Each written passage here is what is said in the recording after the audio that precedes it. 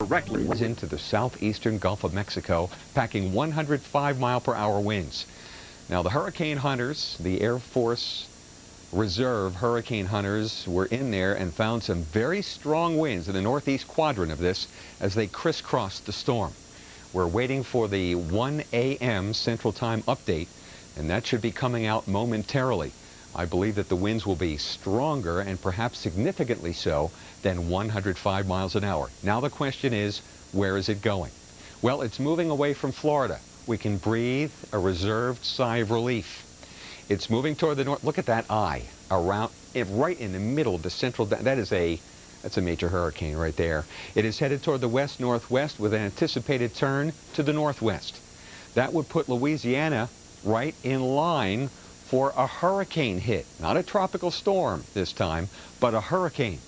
That means that not only will rain produce flooding, but at the coast we'll have a higher storm surge we'll have higher, more battering waves on top of that. Plus, the wind from the hurricane itself will do damage. Power outages, trees down, structural damage, the whole schmear. If this continues to strengthen, as we believe it will.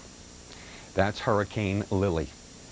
Tropical Storm Kyle off the east coast of Florida. Stationary right now, but may resume its southwestern trek toward the southeast coast of the United States and the Bahamas.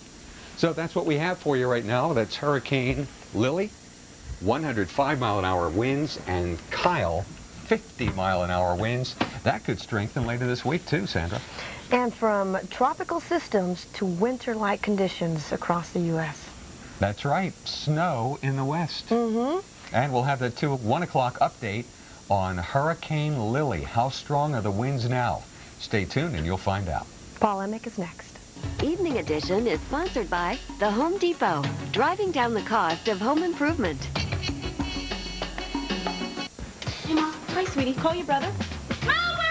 Despite everything, and I like to serve a decent dinner. I like to bake from scratch, but it's not happening. That man! So I found these rolls from Pillsbury.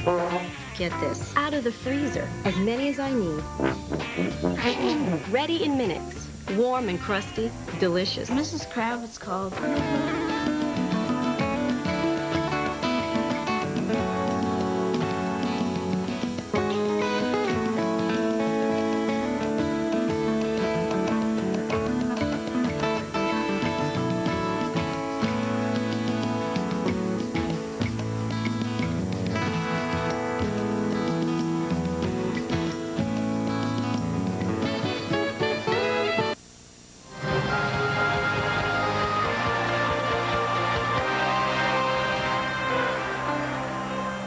Louisiana residents are getting ready again. Grand Isle was hit hard when Tropical Storm Isidore came ashore late last week.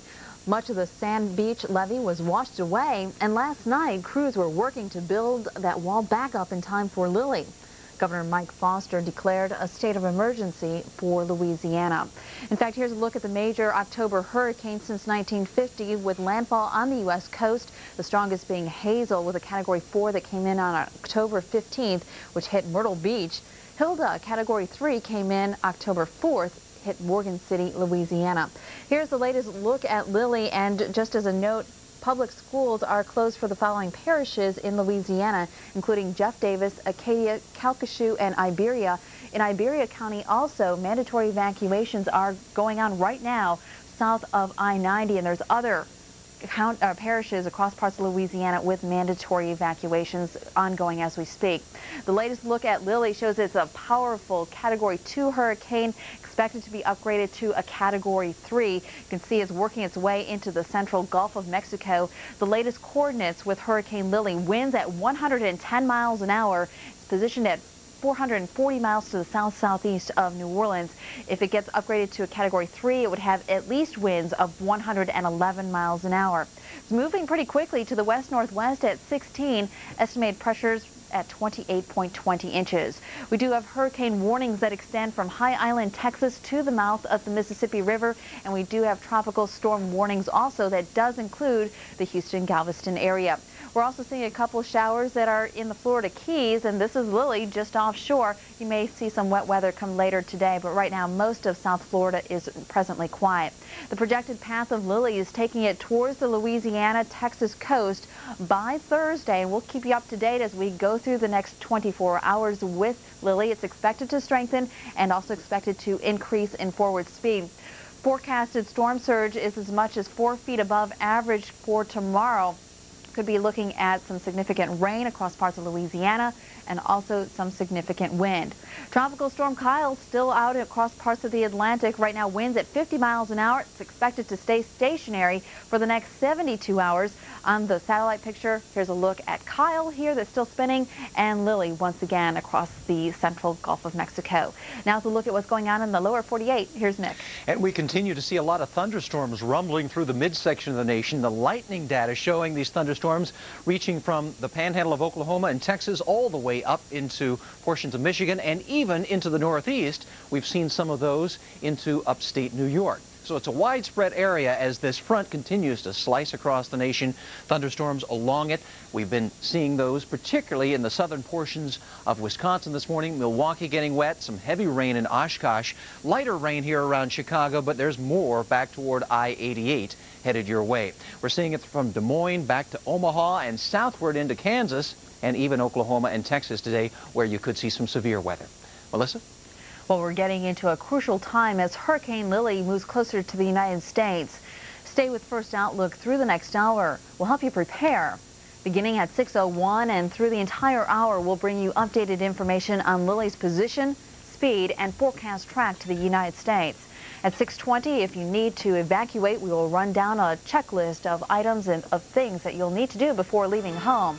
And at 6.50, we will look at a tropical damage on the other side of the world from a typhoon in Japan. Stay with us here on First Outlook. In the meantime, we will take you to Washington, D.C., where you're going to see record high temperatures today. First Outlook is sponsored by Choice Hotels. Choice Hotels International invites you to experience the power of being there. Go! Carrier's Weathermaker Infinity is the world's most totally efficient gas furnace. With our exclusive Comfort Heat technology, it can save you up to 40% on your home heating costs. Carrier, 100 years of innovation.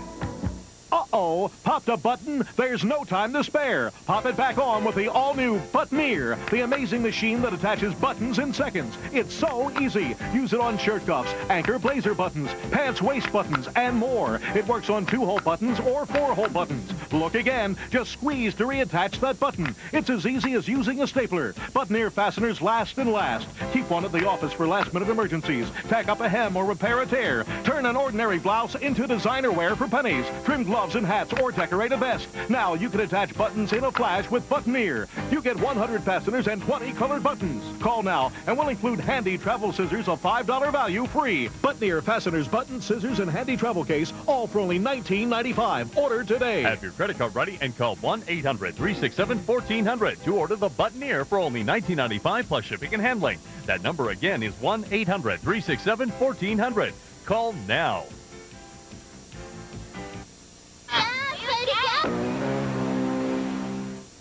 Time now for our tropical update as we continue to monitor Hurricane Lily throughout the day. Our hurricane expert, Dr. Steve Lyons, joins us now with the latest. And, uh, of course, this is a major hurricane, Steve, but it's, it's been a while before a hurricane, since a hurricane of any strength has hit the coast, right? It sure has, Nick. As a matter of fact, it's been three years. It was 1999 when the last hurricane hit.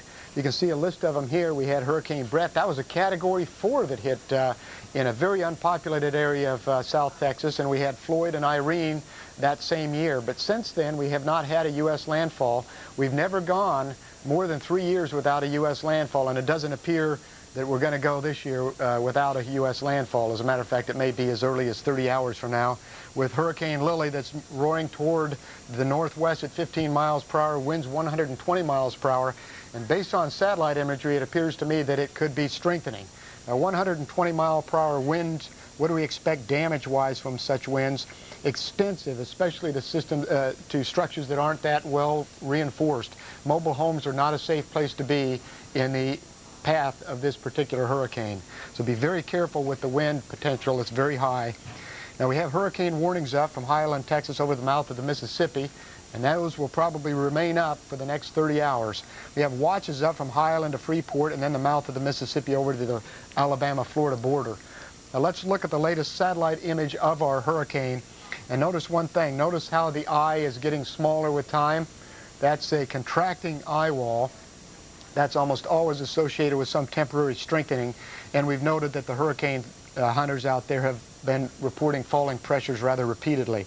Now these are some of the observations out there from ships or buoys or anything else we can find out there uh, through time and you notice and now we're getting 35 to 40 mile per hour. These are sustained winds, not gusts. The gusts will be much higher than this on the periphery, but the core of strong winds is a very narrow area within about 50 to 70 miles of this eye, and that's probably going to be the case all the way to the coastline where we keep the winds in a very narrow swath. So some of you may be well prepared and you're not going to get too much wind out of it, but just be thankful you didn't get the brunt of this hurricane because it's uh, rather strong. Now, as we look at the circulation in, in, the water vapor image, you see the eye sitting here. It's moving right along an upper level southerly flow or south-southeasterly flow right into south-central Louisiana or southwestern Louisiana over the next 30 hours. We don't see anything right now that's going to change the motion of that toward the coast until it gets very close, and then it may take a more northward and then northeast path once it makes landfall. And once it does go inland, we think it's going to weaken very quickly, but it's going to be moving at a fairly good clip, so we can see hurricane force winds and tropical storm winds affecting many portions of uh, uh, western Alabama, uh, western Mississippi, and northern Louisiana as the system comes inland.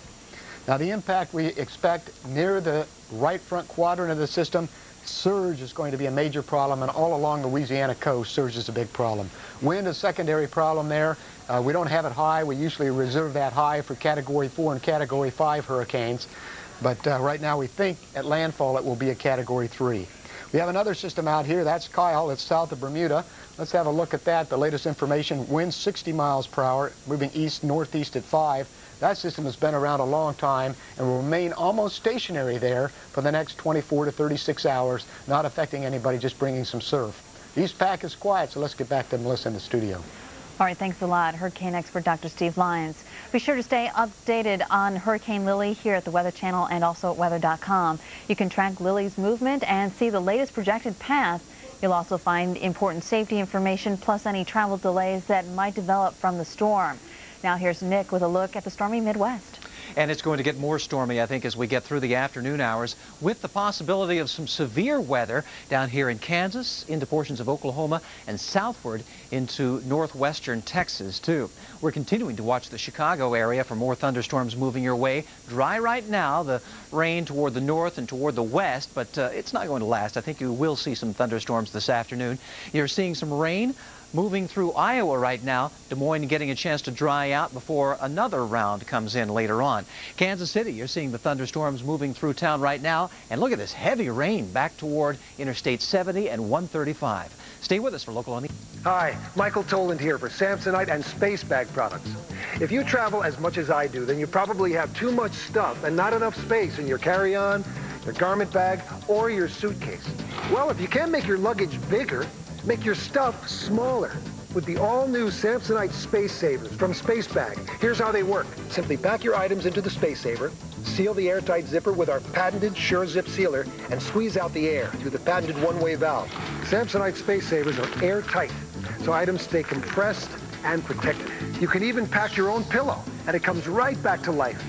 With Space Savers, you can create up to twice as much space in your suitcase, in your carry-on, in your garment bag, or your backpack. Samsonite Space Savers even save hassles when you're going through security. They unpack quickly and are see-through. And never again worry about your bag not fitting. With Space Savers, you'll store the same amount in less space. Space Savers reduce wrinkling. Plus, they're watertight, so you can pack your wet swimsuit or dirty laundry right in with your clean clothes. Our medium size easily holds up to one sweater, a pair of pants, and two shirts. And our large size easily holds one parka, one trench coat, and a sweater. You can find Samsonite Space Savers by Space Bag in retail stores nationwide, but you can only get this off... About 140 miles an hour. This is a very, very dangerous storm.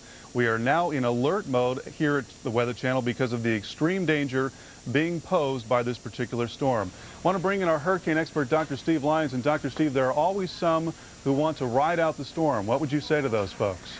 If you're asked to evacuate uh, in a low-lying area, you need to do so. I wouldn't write out any Category 4 hurricane, and everybody I've ever talked to that's done so has been sorry about it.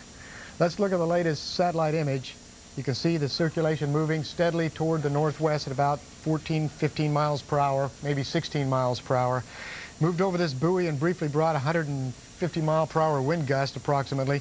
Now some rain bands have already moved on the shore and as they move by, watch the winds come up here. There's 44 mile per hour wind gust, a 31 mile per hour wind uh, uh, briefly. So there's blustery winds out ahead of it in the heavy rain.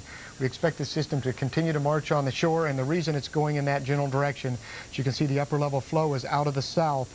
And the system is fairly strong, so we expect it to just continue to pull it right up the coast, turn it to the north, and then back off to the northeast slowly through time as it moves and accelerates as it does that. So our projected path is uh, landfalling sometime between uh, basically uh, late morning and uh, mid-afternoon tomorrow uh, in the central Louisiana coastline.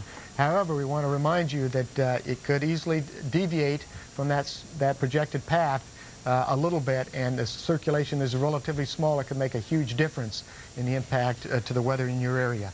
Wind and surge are the primary elements of interest in this particular storm. Wind in a very small area, primarily in the right front quadrant at landfall. And inland, those winds are going to be blustery as well, but not near as strong as at the coast. And surge in the low-lying areas along the coastal zone in Louisiana as high as 15, maybe even 18 feet in the right front quadrant of the circulation. We'll continue to update you on the progress of that one. We also have another storm out in the Atlantic. Tropical Storm Kyle has been very persistent, winds 70 miles per hour, stationary. Now earlier this afternoon it tried to come back to hurricane status with a very deep core of thunderstorms near the center. Those thunderstorms have weakened and so the circulation we would expect to be weakening as well. Right now just a wave pr producer for Bermuda, some portions of the east coast of Florida, and the northern portions of Puerto Rico and other uh, Caribbean islands. The remainder of the Atlantic, thankfully, is quiet tonight. That is very good news.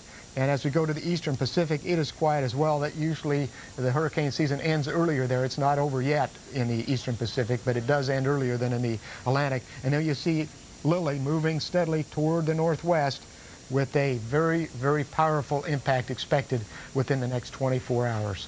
Let's get back to Carl in the studio now. Dr. Steve, regarding Lili, could there be some fluctuations in intensity over the next 24 hours? Yeah, we see that quite frequently, Carl, in uh, strong hurricanes. They'll wobble back and forth a little bit.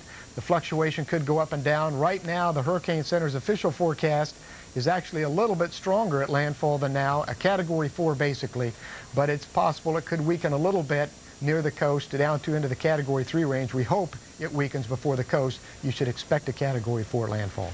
And once again, to reiterate, what is the potential storm surge on the right side of the storm? Anywhere from probably 12 to 17, maybe even 18 feet, but probably 16 feet would be a reasonable number in some of the very small areas right near the eye wall, Carl. Dr. Steve Lyons, thank you very much for that. Let's go ahead and talk about what's happening across the rest of the country right now. We have a strong cold front dropping down through the middle of the country, a real difference in temperature on either side of the boundary. And for that reason, some very strong storms are now rolling across parts of the plains. We have seen active weather in Kansas and Oklahoma as well as into Missouri. We'll have more on all of this coming up in just a few minutes. Stay tuned. This program was brought to you by The Home Depot, driving down the cost of home improvement. Honey, you remember when we bought this house, you said we'd remodel the kitchen? Vaguely. See, the problem is I just don't have the time. We can take care of the installation for you. Can? Countertops and cabinets. What about tile floor? Well, sure. Floors, garage doors, even a roof if you like. Guaranteed? Absolutely. I could have done this. I could have. Mom, Dad, this is Ted. Hi, Ted. Hey. Hey, Teddy. It's your appetite. We need an Arby's Market Fresh roast beef and Swiss. Oh, yeah. beef fresh from the oven. and bread so soft. Wow.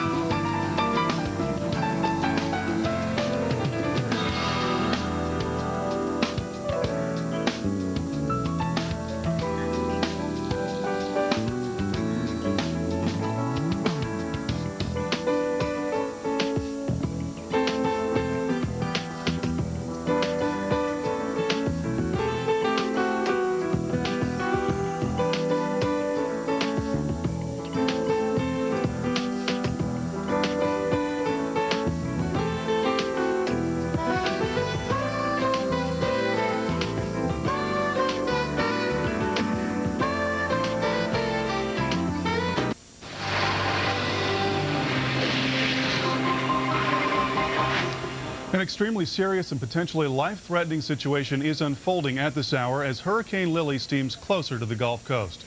The Weather Channel is in alert mode tonight, our highest stage of alert due to this dangerous situation. That's why I want to bring in our hurricane expert, Dr. Steve Lyons. And Dr. Steve, earlier in the show, we saw some folks in Lafayette, Louisiana saying that they would ride out the storm. About that, you would say what? Well, they better be in a well-reinforced uh, structure on higher elevation or higher ground. Otherwise, they could have some problems because the track of the storm appears to be going in that general direction, right near the Lafayette area, and the winds could be very high, uh, gusts well into the 130 mile per hour range, even into the Lafayette area. Let's look at the latest satellite imagery, Carl, and we can show you that it's continuing on a northwest track, fairly steady track. Now, we are seeing uh, the eye temporarily sort of close here, and we can't tell really if it's a sign of weakening or it's just a cirrus overcast covering the eye. The hurricane hunters are out there and they just found 160 mile per hour wind in the northeast quadrant, so it's not weakening very much. So don't let that fool you just because you can't see an eye. There's still a very potent circulation there. We had a gust of 150 miles per hour at that buoy right there and a sustained wind well over 105 earlier, and now it's heading toward this buoy. We'll see what we get from that. Now, in the meantime, uh, here's the latest information from the Hurricane Center. 145 mile per hour sustained winds, northwest at 16, pressure 942 millibars. That's crept up a little bit over the last several hours. Warnings up from the mouth of the Mississippi to High Island, Texas. That is hurricane warnings. And then we have some tropical storm warnings up from High Island, Texas to Freeport, and basically the mouth of the Mississippi over to the Alabama-Florida border. Now, I've been talking to our severe weather expert, Dr. Forbes, who said we've had a little over two inches of rain down here in the southern Louisiana coastline so far, three inches, I should say, not two inches. And the tornado threat will be increasing as the circulation nears the coast, and that uh, increase in uh, tornado threat will include the greater New Orleans area as well. Now, right now, our impact is obviously high for wind with 145 mile per hour winds. Wind damage could be extensive in a very small area near the eye wall. Wave action is increasing, the circulation is sped up, and the waves are generating on the eastern side are moving at the same speed as the storm. We're getting waves heights running to about 40 feet now in a very narrow corridor right toward the Louisiana coast. And surge could be upwards of 15 to 18 feet in the right front quadrant of the circulation. Now look on the very bottom of your screen here and you see this little tiny donut spinning around. That's the eye of the hurricane and that's where those 145 mile per hour winds are. So if you're in the path of this, you're going to have some very, very dangerous conditions over the next 12 to 18 hours as it nears the coast. Right now, moving just ever so slightly north of west. Of course, New Orleans is up here, so we're going to watch very carefully where this circulation remains uh, moving toward the coast over the next 12 hours, uh, with New Orleans being very close. There's a projected path over the next uh, 24 to 36 hours, and inland winds could be a problem as it moves fairly quickly inland. Carl? Well, please stay with us. Our coverage of Hurricane Lili will continue during the second hour of the Weather Channel Evening Edition. Mm-hmm. These are my kids. They're at that age where their tastes change constantly. They're all such individuals. But with Campbell's tomato soup, I can make a lunch that keeps up with them. I add what each one loves. Salsa, sour cream, or shredded cheese. As different as they are, they do like the same thing for lunch. They just want to have it their own way. Customize your soup with Campbell's, also in ready to serve. People out there with a lot of need. Walmart gives us the opportunity to help more people than we'd ever be able to help on our own. They're our friends and our neighbors. Every Walmart down the street and across the country is helping their communities through the Good Works program. With education, the environment, the children always have a special place in my heart. Their eyes tell their whole story and their faces and their smiles. You just get emotional. I, I, I think it brings a tear to your eye to, to see the difference that you can make. The giving part is what makes you happy. Okay, okay. Small business software, $500. Coming up. Small business seminar, $300. Small business supplies, $90. Leaving work early to use your reward points, priceless. Now, small business owners can earn reward points to use more places than ever before. Call 866-444-BONUS for details. There are some things money can't buy. For everything else, there's MasterCard. Why has the Dirt Devil Vision been the best-selling bagless upright over the last five years? It's powerful and easier to push and turn. But if you're looking for the ultimate bagless vacuum,